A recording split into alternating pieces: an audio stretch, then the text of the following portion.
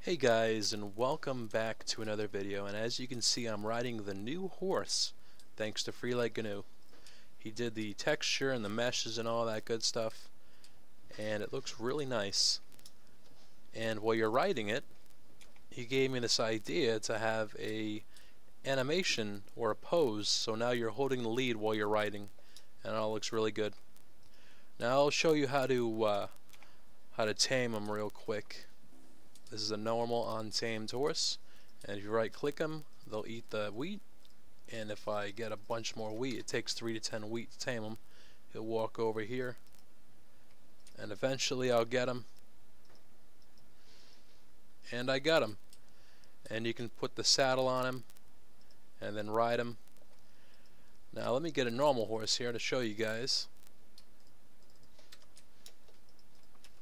And a bunch more wheat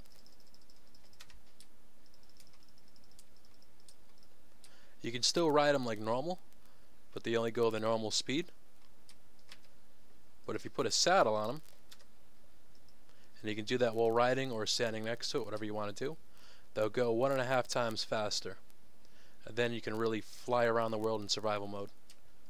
And you can still pull mobs and all the other stuff that I showed off. They look really good.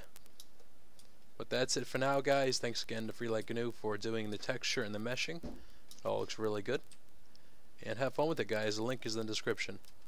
I'll see you in the next one.